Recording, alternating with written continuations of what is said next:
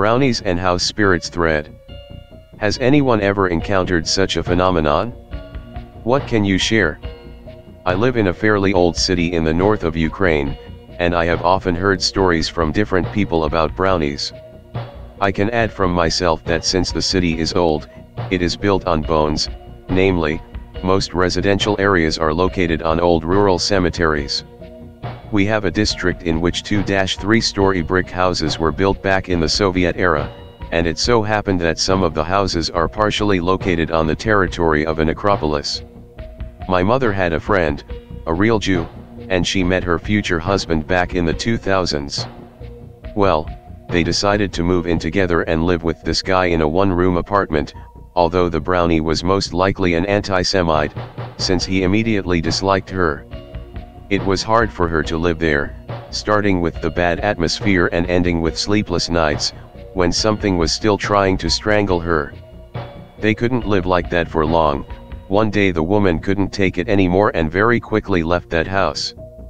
Then a little later she told a story that sounded like this, I worked the second shift, and my husband accordingly the first, that day he calmly woke up, got ready and went to work, and I was left home alone. Then, after some time, through my sleep I heard that my husband came back, I heard him go to the kitchen, started to rummage around there, rattle and knock, I had already completely woken up, and was just lying with my eyes closed. Then my husband decided to go to my room, I, in turn, was lying with my back to the passage, then I heard him come into the room and sat on the bed, and was silent, not moving, and I felt that the bed was a little crushed, I thought, well, let me ask what happened, why is he silent at all, I turn around, and there was no one there. I got up, called out to him, went around the apartment to look for, but he was simply not there and that's it. The door to the apartment is not locked, in the kitchen, everything is in its place. I took my mobile, and back then people already had push button phones on their hands, and I started calling my husband, he picked up the phone, asked why I was bothering him, he was working. Anyway, as it turned out, he left for work in the morning and didn't return to the house until the evening, it was unclear who and what was there.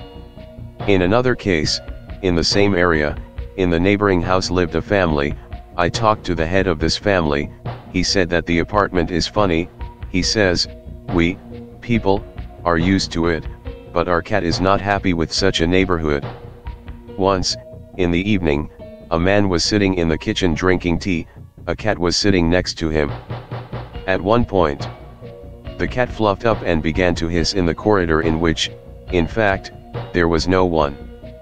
The man watched with interest what would happen next, and after a couple of seconds, the cup standing on the table, simply and unpretentiously began to move to the edge of the table, after which it successfully fell to the floor and broke. The cat was shocked by the scenario, ran away somewhere far away under the closet, from where he did not get out for a couple of hours. When the builders were doing repairs in that apartment, they noticed that the construction waste they were cleaning up in the evening was scattered around the apartment in the morning. They thought maybe the owners were joking, until one day, when they were leaving work, they put a bag full of garbage in the corner, and as soon as they closed the door, they heard a loud crash coming from the apartment. They opened the door, and the bag was lying on the floor, on the opposite side from the corner, as if someone had pulled it with force. My granny lives in a new residential complex that was built in an open field. I once observed a madhouse. We were sitting in the room with her, and we heard a closet door opening and closing in the next room. There was no one else in the apartment except us, and to my surprised eyes, my granny replied, Tishka, don't be naughty. I said, Grandma, what's wrong with you? She replied, this is the guy who lives in my house over there, I call him Tishka, he likes to make noise sometimes. Then she told about her grandparents who believed in such things and had their own stories. From personal experience, I encountered this many times while living with my ancestors. Their apartment is large, with many rooms and there was always enough space for everyone. We moved in when I was still level 3, my brother was 11. Before us, a family lived in that apartment, a father, mother, and their daughter, but a tragedy happened, the woman got pneumonia and suddenly died in intensive care. After that, life became worse for the family, the daughter went crazy and wrote this is my room, this is Yulia's room all over her room, I lived there later. Well, since the apartment was at the bottom of the market and has a solid area, we decided to leave out the backstory. After the move-in, there was a madhouse, and if the adults didn't feel any problems, then life became hard for me and my brother. Some unknown bullshit prevented us from sleeping, appeared and scared us in every possible way. My brother was the first to get hit, since he was more conscientious. Once, he and his buddy were sitting and staring at the console, and they started talking about brownies and other heresy, as soon as the topic was closed, closed because my brother turned out not to believe in such things, the closet door suddenly opened by itself. Then the door to the toilet opened, although this had never happened before or after. I myself would have considered my brother a liar if I hadn't been there at that moment. After that, the light in his room turned on by itself for several nights in a row. He thought that one of the household was fooling around, but everyone was sleeping soundly, no one would have thought of it. And every night at the same time, someone clicked the switch. The brother, tired of this situation, told his mother about the joker, the mother did not believe him and told him not to bother her. Then, a couple of minutes later, walking to his room, halfway there, in the hall, the mother saw this joker. He was a thin man, quite tall, dressed in all black. He was sitting on a shelf and glaring at his mother. She was so shocked that she was instantly paralyzed, only her brother helped her, who responded to her and she was distracted. After that, the mother went into faith, and called the priest three times. The brother also saw this Harabora at one time, after that he himself did not stay at home until he was older. My father, like me, met this person in a dream. The uncle did not harm anyone, but made it clear who was in charge, and the priest did not influence him either. My turn came when I was 8 years old, I often heard someone walking around the apartment slowly, I heard him enter my room and make noise somewhere in the kitchen with dishes. He liked to scare me, then the remote control from the drawer was not where I left it a minute ago, the TV turned on by itself.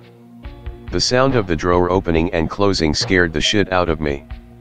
Physically it was in place, but judging by the sound, someone was opening and closing it over and over again. The apartment itself is not calm, it lives its own life, does not like it when someone swears at home or listens to loud music. Because then at night the household hears a symphony of sounds, like something is knocking somewhere. Once my mother went shopping, while I was sleeping at 15. Before she came, I managed to wake up, lay there staring at the phone. Then I heard my mother return, then she came into the room and said, Why did you run away? It turned out that when she entered the apartment, she saw me running away from her into the room. Who she saw, I don't know. After that, on the same day, the front door to the apartment opened by itself, and to open it you need a lot of effort, a draft is excluded. Also, throughout my entire stay there, I sometimes had the same dream, in which I saw a man and a woman standing in my apartment, and in the dream I understood that they were strangers, and that they could not be here and now. That dream scared the shit out of me. Even though I have matured significantly since the bullshit, I still heard all that chaos perfectly well, I just stopped paying attention. Now, I have already moved to a rented apartment, it is much quieter, there is no noise, it is pleasant and comfortable to be in the apartment, I no longer have that dream.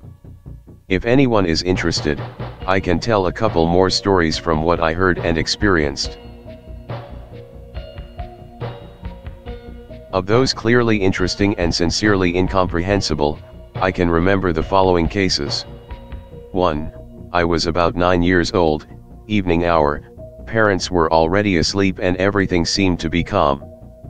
But I still could not sleep, the option with sleep paralysis is excluded. At one point I hear the sound of the front door opening, and as if someone enters the apartment, then hangs the keys on the hook with a characteristic sound, closes the door and goes to my brother's room. It would seem that there is nothing strange here, my brother came home, but the problem is that he was physically in another city and under no circumstances could he have come to the house. I was blown away by this event, and closing my eyes ran to my parents to check what kind of asshole deigned to get into the apartment. As expected, no one was found, I got kicked for a false call and retired to the kingdom of Morpheus. Do you think, Anon, the story is over? But no. After some time, the story repeated itself almost exactly, again I heard how someone came and was in charge in the far room. Fearing the beatings from my father more than the brownie, I decided that I was imagining things and lay down further. But then the Harabora decided to make a tour of the property, moving throughout the apartment closer and closer to me. First, in the common room, the dishes in the cupboard sideboard clattered, after that, someone ran their hand along the wardrobe in the hall and with characteristic steps on the tiles, catching the door to the bathroom, sailed off to the kitchen, where they began to rearrange the cupboards and rattle the dishes. Then this something moved towards my room. There was linoleum on the floor, so all the steps were heard perfectly, and I heard how someone took a couple of steps towards me. From fear, I began to shake and held my breath. This something wanted to scare me more than anything in the world, because then I heard how someone very slowly began to open the door, either a closet or a nightstand, with a characteristic slow creak, which I later tried to repeat, but failed. The last thing I remember from that evening is how something touched my hair, that is, almost without minimal effort, as if it deliberately pressed my hair so that I would feel it. After that I passed out, or I don't remember anything. I don't know what it was, maybe a child's fantasy. 2. When I was about 18, I lived alone for some time, and of course I invited a girl to my place for a couple of days. She decided to wash her hair and went to the bathroom, although she decided not to wash herself completely, so she just stood on all fours and washed off the shampoo. And at that moment I was sitting in the room and staring at my mobile. I hear someone yelling and swearing, I come in, the light is off, I say what's going on. He asks, why did you turn off the light, I say, are you out of your mind, and she says, who do you think clicked the switch, I saw your legs. Who she saw, and what, it's not clear. 3. The biggest skeptic was my father, who said that it was all nonsense and the old soldier was not afraid of house spirits. One night, he suddenly changed his mind. He never complained about sleep paralysis, and did not know what it was. He had a dream, how he was lying on the bed at night, and through the open window into the apartment climbs that same guy in black, looks at my father and moves into the depths of the apartment. My father did not hear the words, but clearly felt, do you think you are the boss here, at this point the dream ended. After that, my father began to treat this topic more loyally. 4. A friend of mine had already managed to get married and beat the shit out of him. And he went to rented apartments. Well, the child grew up a little and moved in, he was 2 to 3 years old. And just then the family moved to a new apartment, where not long before that the grandmother had kicked the bucket. And they picked out a room for the little brat where the old lady lived. And then it became uneasy, the wife was tormented by suffocation at night, and the child could not sleep normally, he pointed his finger at an empty corner and said Baba Yaga. It is not clear whether he saw that old lady, or what it was. But in the end they quickly left there. 5. The mother was washing herself in the bathroom, nothing foreshadowed trouble, until she looked at the fogged up mirror, on which the trace of someone's palm was clearly visible. There was no one to apply it to, and it did not look like an old trace at all, the trace was too fresh and was located practically under the upper edge of the mirror, under the ceiling.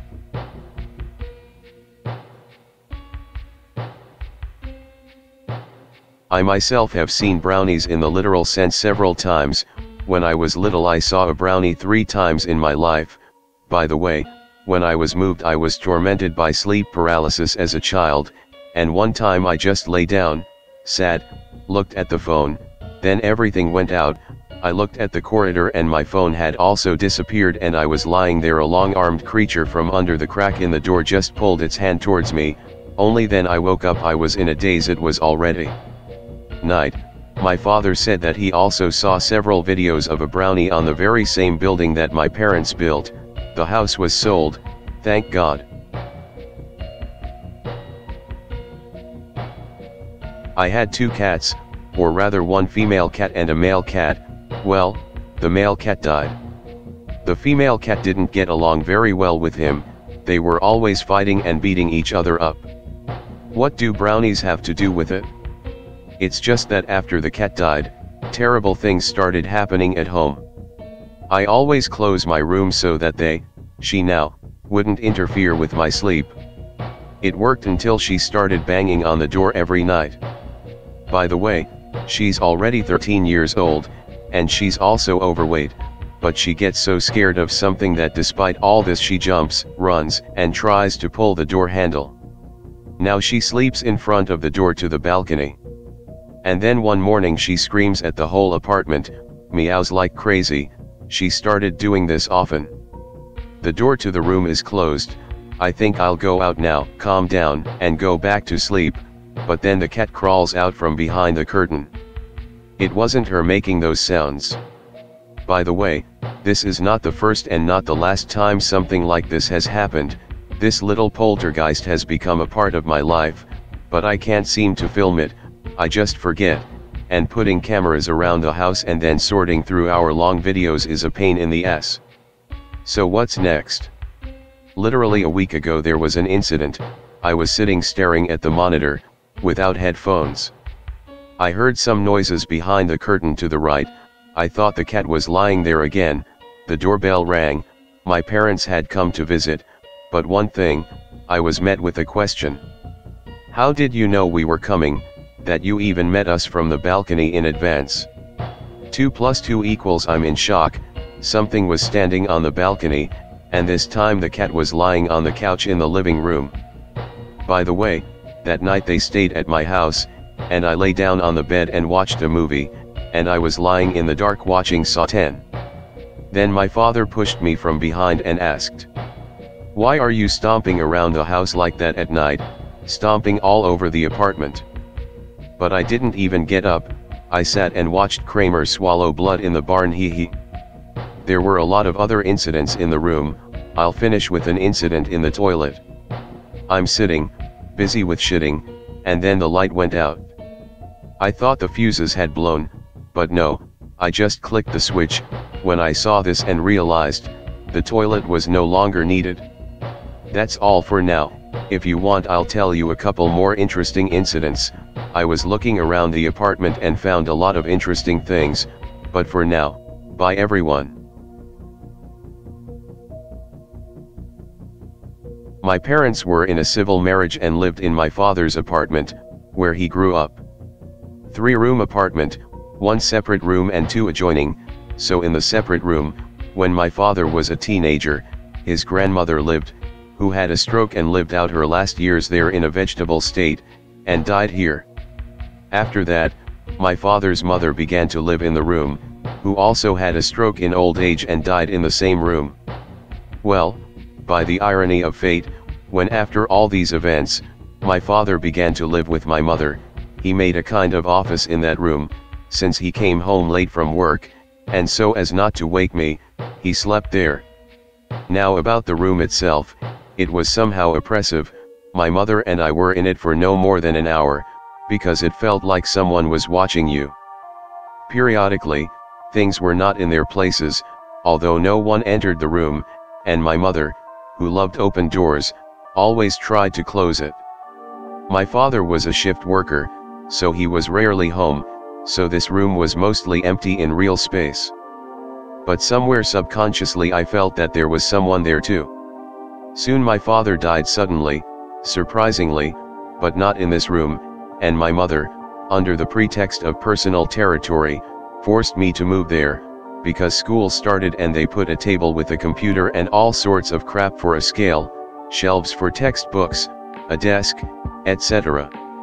Well, living in this room was torture for me, every night, without laughing, really every night, I dreamed of wild beasts, all sorts of frightening images and basically creepy dream plots.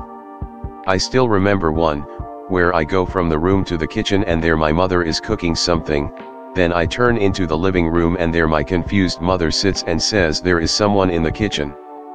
In short, I didn't have enough life in this room for long, I managed to persuade my mother and my Ella personal territory moved to the living room, and the room just stood there. Sometimes guests were put to bed there if they didn't feel like moving around at night, and the guests weren't thrilled, they said that they dreamed of wild animals and it seemed that there was someone in the room, but they attributed it to alcoholic gatherings. Then, after I came of age, the question of selling this apartment arose, my mother moved to another one, and I was left to clear the entire apartment of furniture.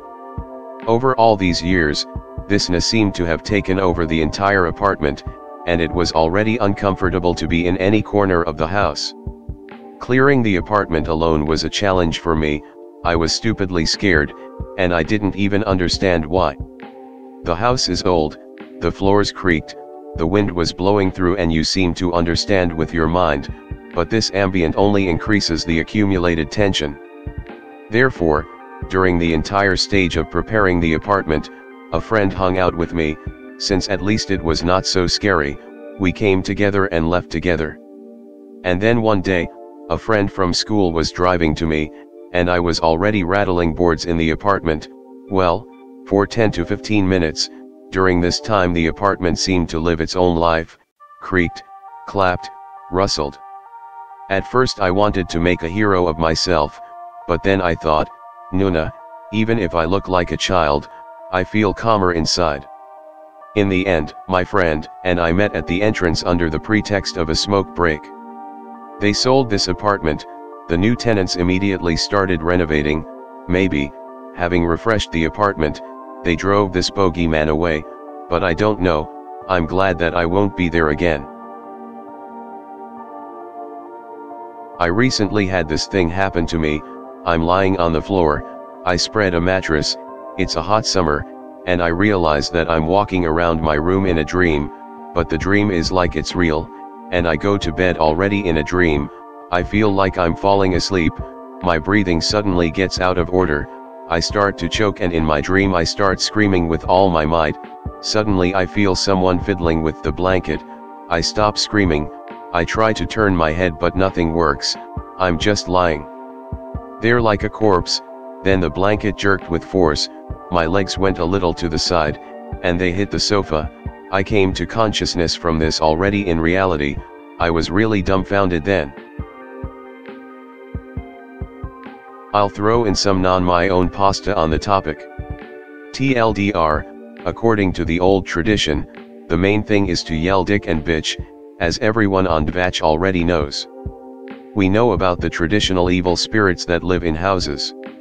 House spirits, small domesticated people live next to many of us, and we recognize them, helpers and troublemakers, turning into cat shadows, protectors of the house and farm, benevolent and capricious, we also know their names, and, almost, are not afraid. But there is another fairly common group of inhabitants of our houses, which can really ruin your life. In the English-speaking world, they are sometimes called mimics, I heard that they are also called imitators. It is interesting that this is not a special class of inhabitants of the subtle world, but completely different entities, which we are trying to unite and define by exactly one feature, their behavior and manifestation. These are entities that make sounds, imitate the voices of people living, or often visiting, in the house. The same banshees, kikimoras, forest spirits can also imitate voices. But mimics imitators live next to a person, more often, directly on his territory, in the house. They most often appear in houses or large apartments, in old buildings, especially where there are basements, attics, and dark rooms. At first, mimics manifest themselves simply with some noise, rustling, steps, movement in an empty room. This includes, for example, cases when a sofa creaked in the next room, on which someone sat down, but the whole family is in front of your eyes, and there is no one there and cannot be. This is the sound of cat paws on the floor, while all the cats, here they are, sitting and perplexed. Another thing is that we practically do not pay attention to such things, but for mimics attention is vital. They feed on it and become stronger when they start to be noticed. And if they start to be noticed, they will also become afraid, and fear allows them to grow and gain more strength. The classic move of imitative spirits is voices. Most often, they call one of the household members with the voice of another family member. Most often, when children call their mother, a husband calls his wife, or vice versa. One woman writes that she was in the kitchen baking a pie, her hands all in dough, she could not move away, and her husband was literally straining himself, asking her to come to the living room. When she finally flew into the room covered in flour, and in rage, it was empty. And literally a couple of seconds later, the keys jingled in the lock, her husband, who had gone out to the store, returned home. Another said that her daughter was calling her from the basement. Only the mother knew very well that her daughter was playing with her friend in her room, and that's where she found them when she went to check just in case. Another one shared that her stepson refuses to visit her and her husband's house because his mother, who, of course, has never been in that house, always invites him there. And here we immediately see that there are significant differences in how imitators behave. Someone gets attached to certain people and calls them in voices that they will answer, and whether such a call can really be or not is unimportant. Someone simply imitates the voices of the inhabitants of the house. By the way, the most common case of imitators is when the sound comes from the room where the caller is located. Only he or she did not call anyone and did not ask anything. One case was described by a woman who lost her child in childbirth. She had never even heard, her daughter crying, but when she returned home from the hospital, she began to think that a baby was crying in the house. The house was located in a rural area, and the neighbors definitely did not have small children. Of course, the woman decided that she was developing psychosis, she shared with her husband, hoping that he would send her to rehabilitation. And the husband responded that he had exactly the same hallucinations and kept quiet so as not to disturb and upset his wife. Mimics are often believed to be our departed loved ones, especially the deceased or unborn children who died suddenly, loved ones who are greatly missed but many stories about them suggest that it is not only restless human souls that can manifest themselves this way. A brownie can stamp and even purr like a cat. Sometimes strange little people can start up in the house, especially if the house is located on the outskirts, if it has closed and cluttered rooms. If there is witchcraft in the house and the space is cleaned little or rarely, it can easily pull in anyone from the subtle world, including those who treat people exclusively as food. How are mimics dangerous, besides the fact that they upset and scare? To begin with, if there were no imitations before, the house is clean, there are no closets and no strangely deceased relatives, then the appearance of such effects is a bad sign. This is a disturbance of the ether, this is how a warning from previously calm neighboring spirits may look, and sound. All these fallen books, or the sound of something falling when nothing fell, laughter, creaking, the brownie is busy, this is not good. If someone is called by name, often danger threatens this person or the one whom this person protects and would like to protect. However, this is not a danger as such, it is rather a warning about it. The sign is bad, but the impulse is useful. It is much worse if the facial expressions begin to manifest themselves maliciously, to frighten, and as the discomfort of the inhabitants of the house increases, the effects intensify, and life becomes impossible. I was told that a crazy grandmother insisted on the light being on at night, because if the light was turned off, they were whispering nearby. At first it was just about whispering, then, about prayers, then the granny said that it was growling, and then the light stopped helping. The grandmother was prescribed serious medications, sleep, at least apparently, was improved, a few years later the granny died, and her grandson moved into her room. With a good psyche and approximately zero level of suspiciousness. Moreover, the room had been seriously renovated, none of the grandmother's things remained. This grandson was surprised when he once heard that at night in the room someone was either rustling, or really whispering. So, of course, it is worth kicking out the imitator. They curse, loudly and aloud send to all possible obscene addresses. In no case should you show fear. They clean the premises both magically and physically, they rake out old junk, one family, who did not like that someone was supposedly having a good time in their locked basement, did such a renovation there that they got a semblance of a separate apartment, which they successfully and profitably rented out. They ring bells throughout the house, smoke sage and wormwood, hang wind chimes. There is also advice to drive old, there is an option, rusty, nails into the corners of the house. You can use construction spikes or the same parts, from rails. Sprinkle salt around the perimeter of the house. I also liked the advice to remove the rug with the inscription welcome, at least this way strangers who like to scare will not stray. But the main thing, of course, is to remember and know every moment, to feel who is the boss in this house, the powerful and fearless boss. Because I have not heard of any cases of real harm from imitators, but they can easily be driven out of the house, that married couple, after some discussion, first temporarily moved in with relatives, and then completely sold the house in which sad memories lived. In the new place, they had a child, and the crying became not mysterious, but absolutely real. The grandson used the most powerful weapon of the young, indifference, and simply gave up. And the whispering stopped.